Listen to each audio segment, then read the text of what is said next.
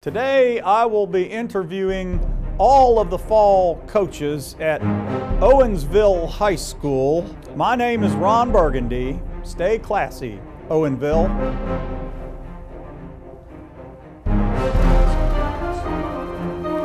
This is bird lady that's in charge there. Ron Burgundy here. Have you ever considered bringing sand into the gym for your volleyball games? You might get more TV coverage. Where is Miss Hibbs? Miss Hibbs? Miss Hibbs? Coach Hibbs? Coach Princess, do the rubber pellets on the field make you faster or slower? Very much faster. Got petroleum in them. What do they taste like? You're kidding, right?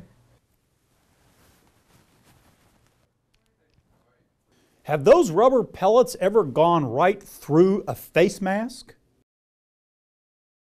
Did it injure their eye? We haven't had any um, report uh, digestion. We've had a few in their eyes. We've had to clear out, I guess, and I haven't heard anybody eating one yet. So you're the cross country coach. Um, what countries exactly do you cross? Uh, none yet. Why not? I guess uh, uh, budget allocations probably won't let us do that. Coach, why do your players not just pick up the ball with their hands and throw it in the goal? Well, why don't we just have 11 goalies? Goalies use their hands. Why don't we just have goalies everywhere? Wouldn't it be better if they tried to do that in one stroke? They do. They try to hit it in the hole.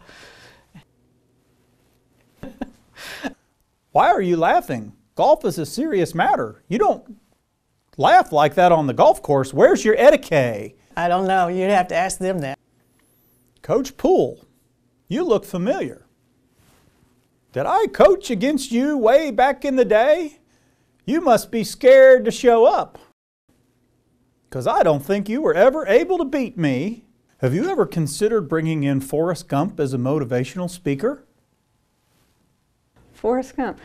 We have thought about bringing in a speaker, um, a former cross country runner. Do you think that they would actually be better than Forrest Gump? I mean, he just kept running and running and running and running and running and never stopped.